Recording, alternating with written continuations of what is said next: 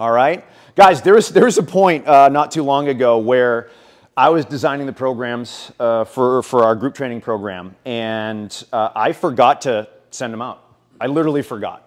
I was just like, I didn't I didn't know I forgot until one of my one of my employees said you forgot, and it was Derek. It was like, Mike, you forgot. I was like, awesome, and I was like mortified. But he's like, look, we know the system, we know the calendar, everything's all set, and I was like we're doing something right.